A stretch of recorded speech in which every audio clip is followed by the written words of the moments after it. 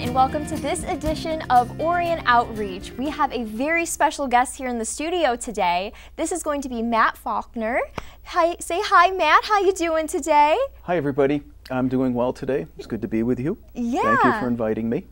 We're very honored to have you here in the studio. Matt and his wife, Kristen, who is not able to be here today, have written and illustrated some amazing books that we're going to be talking about. And so without further ado, let's get straight into it. Cool. So Matt, I see two books here. We talked a little bit before the interview, but I want to hear a little bit about what inspired these books and what are they about? Well, first of all, uh, then uh, again, thanks for having me here. It's it, this is a lot of fun. Uh, these are both written by my wife, Kristen. Kristen Remenar, and um, she is uh, an author, has uh, been working to be a kids book author for like 20 years, and then uh, about 10 years ago, she got the call that said, "Yes, we want to buy this um, this manuscript that you've written called Groundhog's Dilemma." This book here, right here, okay. Yeah, and uh, it was, um, you know, as you can imagine, a very big deal for her to ha- you know I have them call up and say, "Hey, Kristen, let's let's p- print this." And it was with a, a, a, kids book publisher called Charlesbridge Publishing. Okay. And uh, they're in, in, outside of Boston, and uh, they said uh, uh, part of the reason why this this story came up for Chris was because um, two things. One of them is the it, the story is about friendship and not only about friendship, but what do we do in order to make our friends happy? Right. And is it okay for me to be me as I am? And what do I have to give up to be with certain people? And is that right? Do I really want to do that? And so Chris is also, she was born on February 2nd, so she's always loved the groundhog. So she decided that this was going to be a story about some of Groundhog's friends love winter and they want it to be a longer winter. Like the, the hare likes to have her winter coat and the bear likes to sleep longer. But some of them don't like winter so much, like the sparrow wants the baseball season to start and the squirrel is a, a single dad and he's got three little kits and they're driving him crazy in the little nest. So they want it to end sooner. And um, so Chris, uh, you know, decided, okay, I'm going to make this story all about Groundhog, trying to make some friends happy over here and some here. And then eventually he has to just, just decide, I have to be myself. Right. And I have to um, base my decisions not upon what's going to make other people okay with me being me, but what's going to make me feel like it's okay for me to be me. And it, it's a, it's just a delight. Uh, you know, I can say that because she's my wife too, but, but also it's, it's just um, a, a, a sweet, important story, I think, for you know whatever age, but certainly the seven to eight year old uh, audience, yeah. but but also all of us who are you know parents reading the story to their kids. It's um, it's important, and uh, I was happy to make the illustrations for it. So that was one of the other things when they asked Chris. They said, "Do you think that Matt would be willing to make the illustrations?" And she was like, "Willing." So that's amazing. So you were able, so you actually didn't go in knowing that you were necessarily going to illustrate these books. However, it just worked out so you got to collaborate with your wife. Yeah. And that's amazing that you both share the same passion because, you know, books are something, I think we were talking a little bit um, prior to the interview, Matt, that I remember books from my childhood because that was like I was learning how to read. I was trying to figure life out myself, navigating through that seven to eight year old girl who was shy, who mm-hmm. didn't know how to make friends necessarily. So having a message like that, but still in a light hearted way with visuals and things, it's such a powerful tool that stays with you throughout your whole life. So it's really beautiful, and you get to do it with your partner, which makes it, I'm sure, a little bit easier too as well. Well, you know, the, yes, it does. It and just that issue too of like um, the books that we have when we're seven or eight year, year olds, um, they do become like anchors for us, you know. Absolutely. Um, and uh, to, to have those as access points, um, they become like little road maps for bumps in the road in our lives, some bigger bumps and smaller ones, but the, you know, just right. the idea of um, to give a child uh, these, you know, access to these every night is a really a tremendous gift. And so, um, you know, any, any picture books. Uh, I've been making picture books since uh, 1985 was my first picture book. So that was one of the things is that trying to figure out okay I, I was pretty sure they were going to offer chris this contract right but i didn't know that if it was the best thing for chris to have me illustrate the book or to have another illustrator because this is my, you know this is my business uh, it, it was a big deal at the same time, since it's my business, I had to try to figure out what's best for Chris as an author in her business. So we talked about that. Yes, you had to have a serious conversation about Yeah. it. Absolutely. You But- had to think about things and really, you know, is this the right step to take for these books? It didn't take a long conversation because you know, That's we a good like, thing, they- right? They, pay you more when you both do it, when you both work on it. So uh, yeah, you know, we were like, yeah, well, Matt will do the the drawing. So that went over really well. Um, Chris ended up uh, the first week of um, January in 2016. It was right after when the book came out. We were in Boston, giving a um, a at a big conference, a library conference, American Library Association. Oh, And- wow. And and Chris was signing books, and I was signing them with her. And I, I was going to stay there and go vi- do school visits, um, which is part of the business of being an author and an illustrator. You visit schools around the country. And Chris had a stroke. I am so sorry. Yeah, yeah. And um, so she's been working her way back since then. And um, she was able to um, work through that. It's been eight and a half years now. And to be able to present this story. But it did take this, the second one, uh, Squirrel, Needs, a Break. And uh, yeah, it, it took a while for her to come to a place where she could um, be able to focus, be able to. Um, she she has you know extreme fatigue at times, um, and so she's been able to write the story. This one came out earlier this spring, and uh, this one I'll just say is about um, Squirrel, who we found out had has three kids in the earlier book, and he's a single dad, and he's just losing his mind with these three kids, and the uh, the other animals, uh, hare and groundhog and uh, owl and and sparrow, they decide, um, maybe we could take care of the kids for a day. I mean, how hard could that be? Which is we learn how hard that could be through the There- book. there's a lot of chaos Yes, sometimes, yeah, yeah. right? And then, so while some of them are taking care of the kits, the others are taking uh, Squirrel to like the spa or to yoga or to a baseball game. And so, you know, one of the things too, and for me that's important as an illustrator is can I make imagery that's both um, obviously appealing to the audience, the seven year, eight year olds, um, but also appealing to the parents. What's what's funny? What looks silly in both a slapstick seven year old uh, way, but also like a parent can look at it and go, "That's really ridiculous. I like that." You know.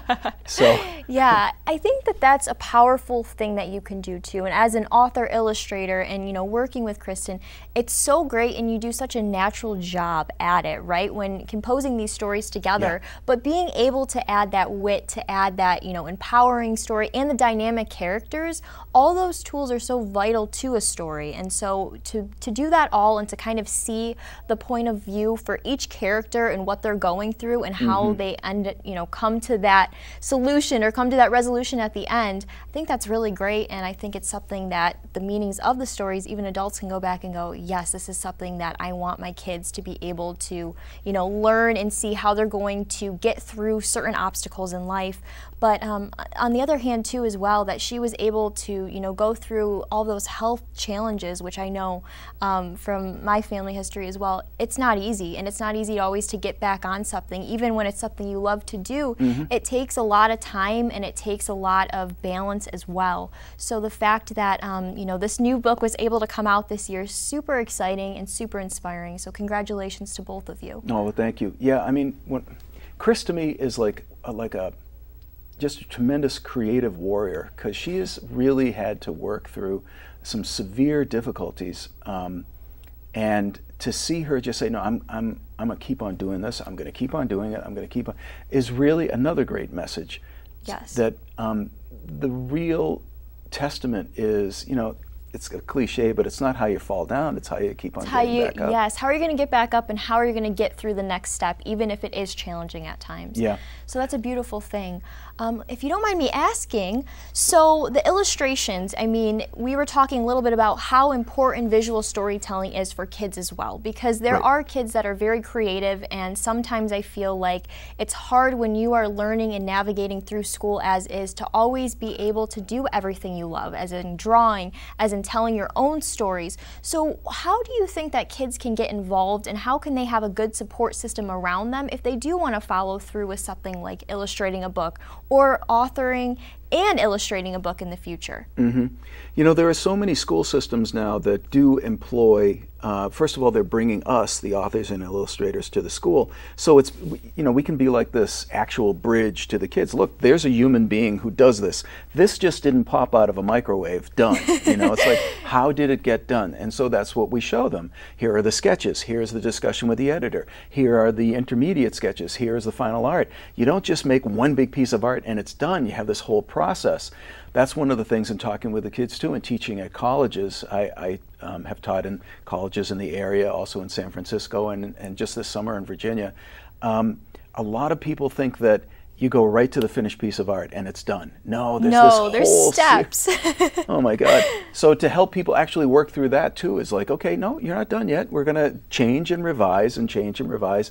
And you have to get used to that as part of the process. Yes. Um, so, uh, in order to help a child, one, first and foremost, it would be good, and I just suggest to parents look into it yourself. Where are the resources for an adult who would want to get into this? And one of the primary ones is called the Society for Children's Book Writers and Illustrators. Society, Society. for Children's Book Writers and Illustrators, SCBWI. Org. And that's an awesome first step to kind of research in, yeah. gather more information so that the parents are able to assist their child yes. and kind of start that process. Because Absolutely. I think it's always the scariest part, and probably for parents as well, is that first step, taking the leap of faith.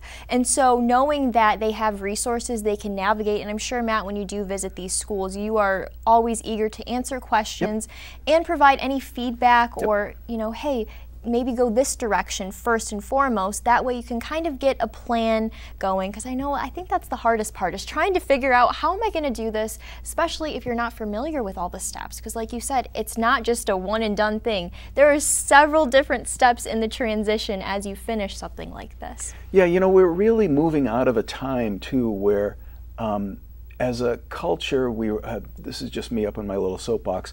We, are really invested in uh, letters and numbers. That's yes. how we communicate. Obviously, it makes sense. You mm-hmm. need numbers to balance your checkbook. to, to write a check, you need letters. you know, but um, the, the issue for, for me, as I was and, and am a visual storyteller, and I come from that, I get that term from this um, Harvard uh, University, uh, I think he's a doctor now, uh, Howard Gardner. And he developed this thing called brain smarts okay. which was and said that there's nine different ways for the brain to be smart. And this was a revelatory thing in like the early 90s. Uh, and it, what it started to say to, was to the education system, it's not just about numbers and letters. Mm-hmm. If we deny the fact that children come with, because they also have brain smarts or number smart, letter smart, um, picture smart, different types of smart, movement smart, even uh, they have like uh, uh, intuitive smart. Mm-hmm. You know, it's amazing. They're acknowledging all of these ways that the brain, that for so long it was reading, writing, and arithmetic, and that's it. And that was it. And and it makes sense, but it didn't help because if you're denying access points to certain students who come primarily with a visual storytelling, you're going to shut down the other doors too, because they're just going to feel ignored and abandoned which is how many that's, that's happened true. to so many of us right? Mm-hmm. and it, and i'm not you know it's it's i got to be careful. I'm not blaming anybody although it, in a large part it happened to me. I know lots of people who that happened to. And so our our culture is changing. The idea that 25 years ago graphic novels were not accepted in libraries really the way they are today. They're not just accepted they're celebrated. The, the uh, yes. uh, book of the year this year, the national book of the year, was a graphic novel by Dan Santat. Isn't that amazing, though, that we're able to get through those different periods of time and there's not as much restriction anymore? Right. There is more, let's support each other in whatever area of life, whatever we want to grow into, whatever career we want to express ourselves in. We are able to see that. And I think that that is so empowering, but also I'm glad that we shifted the way things have been because yep. you learn from that and you learn from the past and knowing that there are so many advocates as yourself and your wife that are so supportive of children who may have way different ideas in mind. It's just being more open to taking on those challenges and really overcoming anything that stands in the way of them and their goals. So I and it's I really for the culture that. too. You know, it's mm-hmm. because when we say everybody has different access points to how they're going to receive the world and also give back to the world. Mm-hmm. What we're doing is we're opening up all kinds of doors, doors. of mm-hmm. productivity and creation and transformation to everyone. Yes. Those children are going to bring things that otherwise we would deny them. Yes. So it's a good time. It's, it's, a little it's scary to some people. I don't blame them because it's we're changing. There's always something that's unknown, right? But you yeah. have to explore it. That you can never. I always tell myself you can never know too much. So always take on something and always just try to. I want to grow every single day, no matter if I make a mistake, if I am challenging and I'm like, oh, Lexi, I'm not going to be able to do this. It's being able to get through that and having the grit, the attitude, yeah. the focus, refocusing if you have to. But it's all those steps that are needed because at the end of the day, I mean, when you think about it, this is life. We only have one life, and we should always live it to, I mean, the fullest yeah. that we can. So being able to do that is one of the most amazing things that I get to witness too in, at my age is seeing how things have shifted from even when I was a little girl. Because yeah. when I was a little girl, I never felt like I had necessarily the tools or the resources I needed to explore my creative you know dreams. I like doing journalism and I love TV and I love all of that. But as a kid, it's usually you know it was always kind of frowned upon. And like you said, it's not necessarily you know anybody's fault, but it's a cultural shift that yeah. we're more accepting of taking on different courses throughout and not our just lifetime. accepting, right, but celebrating. Yes. Celebrating, you know, mm-hmm. celebrating these children. I had a friend who grew up in Africa, and and, and there in his culture, um, it's not just a an uh, interesting topic at a you know cocktail party. They literally they they actually believe and support the idea that every child is coming to the community with a gift. And I love and, that. And even if it's um, something that makes the community uncomfortable, that could mean that it's actually even more important gift. Yes, it's very valuable. Right. It's the most valuable gift. Right everyone should be celebrated for no matter what they do. And thank you so much for reinforcing that because that really is empowering to know, and that's how it should be. Yeah. Absolutely. And I'm glad that we are learning to celebrate every single victory, no matter where we're at in our journey. It's just something that we all need as humans. Yeah. From a young age onward up into an older age, we need that reinforcement, that celebration that, hey, things are going great, and we're going to keep celebrating every single goal, desire, dream out there. Yeah, so yeah. It's empowering. So I wanted to ask you, Matt. I know that we are talking about your new book here, and I'm super excited for everyone out there that's going to be watching this and hopefully going to run to the library and say, let me check out both these books. I mm-hmm. want to read them both. But I heard that you said that you're working on another book yeah. coming into next year. It just so happened that they loved the second book. You know, it took seven years for you know to work on, uh, and they were like, "Can you do another one?" And Chris was like, "Yeah."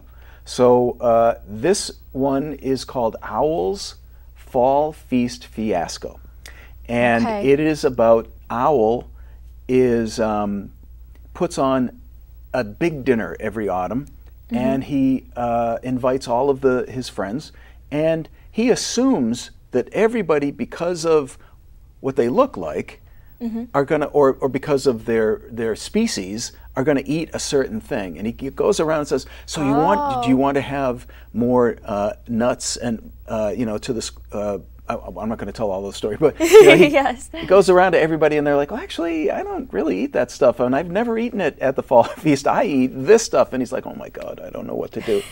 Uh, What's the right answer, right? Yeah. so, um, and in addition to that, a mysterious uh, well, not so mysterious in the story, but a, a person is coming from across the world. A uh, uh, what do they call them? Uh, owl and uh, what are the oh duckbill duckbill platypus? Okay.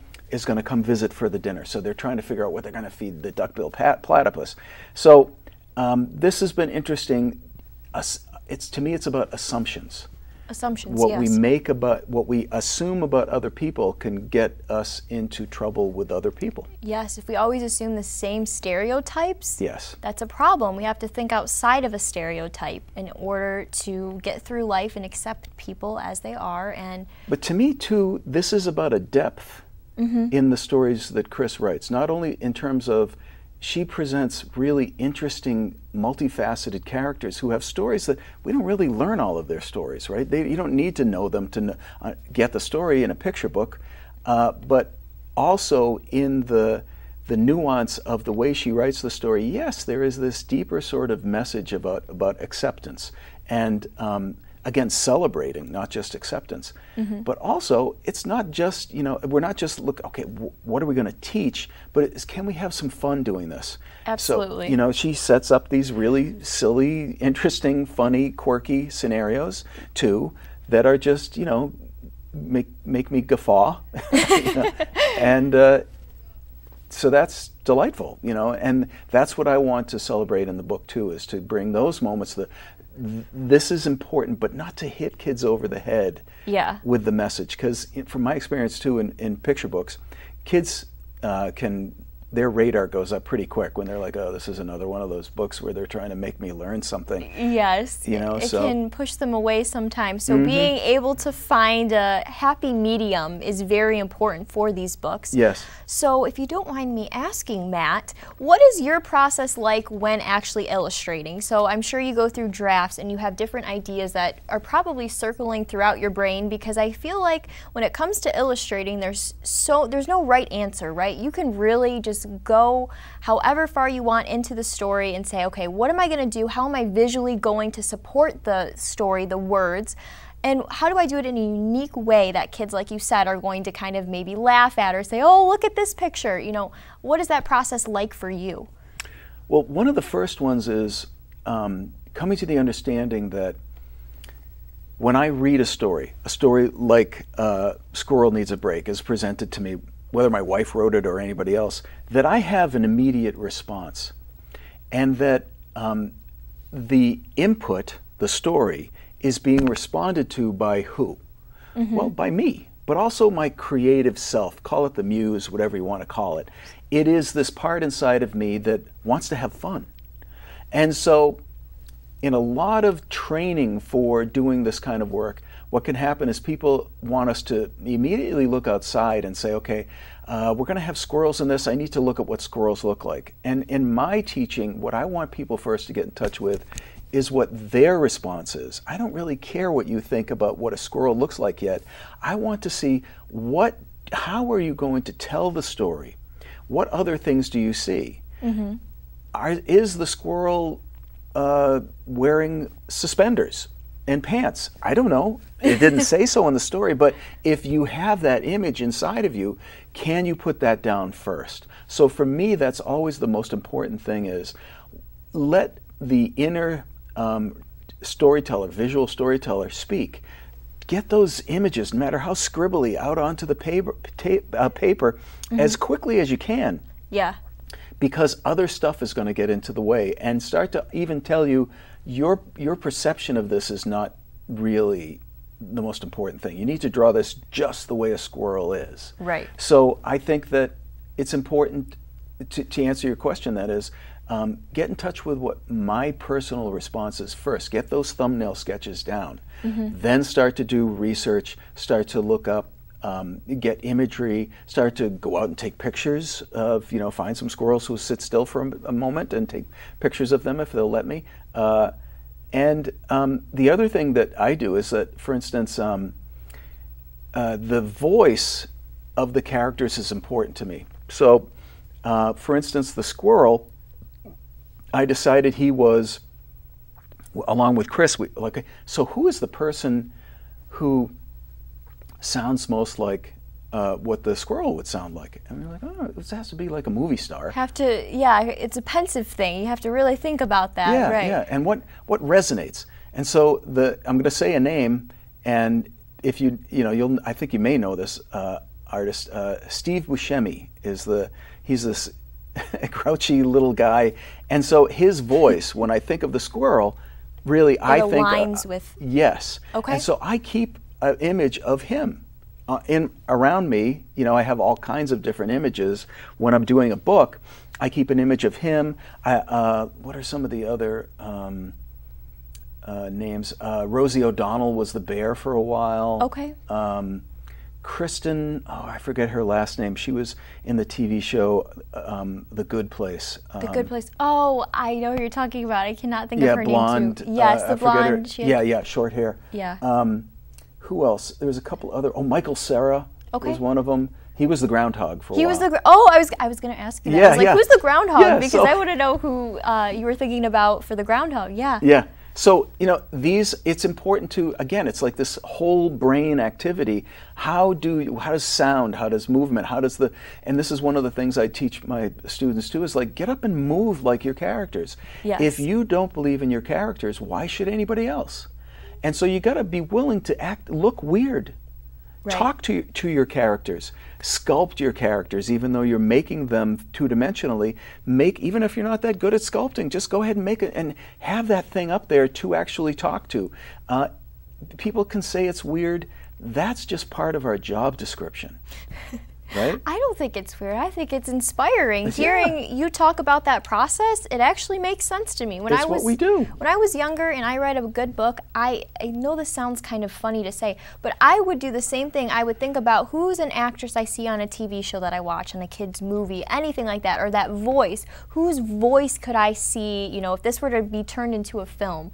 And that helped me understand and comprehend the story. So I don't think that's a bad thing at all. Is sometimes you need to take those further steps in to really get involved with your story. Yeah, and it's it's so much of the movement too. You know, is is the character posture, you Yeah. know, like this, or is it like this? These Yeah. mean different things because then also as a visual storyteller, we start to get into shape. This is a different kind of shape than this, and you and children different. get it right away. Yes. You know, and they'll make a shape and say that triangle is this person in my story, and you know, it's really important that we believe them because that leads to them further developing how they express themselves. So whether it's shape or color, that person is a triangle and purple. That's their interpretation, supported a hundred percent, mm-hmm. and you have no idea where that could take that that child will take that, and we have to give them that kind of trust Yeah. and that faith that they're here to do something really important and cool for us. Yes. So it's understanding and having each character have their own attributes Yep. that are noticeable, they're recognized by who's reading the book, whether it be a child or an adult. Yep. And like you said, it- you kind of have to explore that more. You're giving the reader that authority to really take the story and, and think about everything, even on a deeper level. I mean, there's so much that goes into it, but I love it because, like you said, you're able to make it lighthearted, you're able to make it fun. Yeah. But um, I just love too that the setting, um, lots of the seasons have an impact on these books. Mm-hmm. So it's really kind of tying everything together, and that's what's so inspirational about it too. Is um, are you from Michigan? No, I'm originally from outside of Boston. Okay, so um, living in Michigan now, did that have some inspiration going into your books and illustrating in Oh, certain yeah. po- components? Since know- the four seasons, of course, are kind of what everyone talks about when visiting Michigan, at least when I hear um, some people from different parts of the world or even the country. I, you know, we have four seasons in New England too. And- yeah, yeah. And but, so, but they're different. They really are. Uh, you know, this is a different uh, part of the world, uh, even though it's the same country. Uh, I feel so- like it's so different. When It- I was it there, it was so is. different to me. I don't know why. I think it's just because I'm rooted here in Michigan, but. You I was really tempted too for like so doing the the fall feast fiasco for Owl right now. It's all about the autumn. So Mm-hmm. you know I'm like, oh, I'm going to look up New England uh, fall colors, and I was like, no, I cannot because I have tried to look up imagery. Um, I, I have looked up imagery rather than from Michigan because. I, it has to be based here to be, and, it, and again, it's another one of those things. Oh, come on, Matt, nobody's going to know. No, but I would know And Yeah. that makes all the difference. It makes a big difference for Yeah. sure, for certain, even as illustrator, and I'm sure Kristen feels the same way when writing these books as well. So, Matt, if you don't mind me asking, um, we've got these two amazing books here. We've got Groundhog's Dilemma, we've got Squirrel Needs a Break, and then we have a third book that will be coming out next year. If you don't mind me asking, where can people find more details? I know these books are in the Orion Township Library, but if they want some more details about these books, where can they get that information? Well, I'm going to send everybody to our websites. Um, uh, first of all, Chris's website, kristenremenar.com. And I'm sure they'll probably put up a graphic for that, right? Yeah. Yeah. And then also my website is just mattfaulkner.com. Both of these have, um, Chris's in particular has uh, links for like stuff that teachers can download and parents for making puppets and coloring and so forth. Yeah. So um, I think she has a page too that may have something about the um, the four seasons with the different clothing that uh, Groundhoggy wears.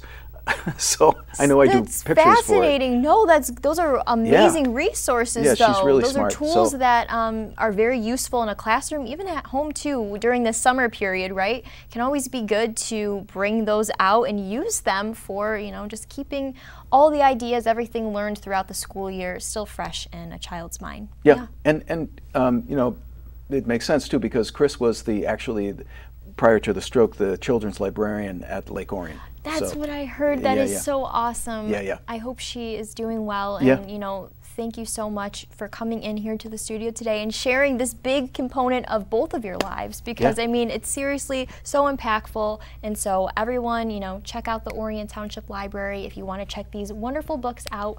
Again, Matt, it was such a pleasure to have you on the show here again today. Thank you so much. Is there anything else you want to say to wrap up this edition of Orion Outreach today?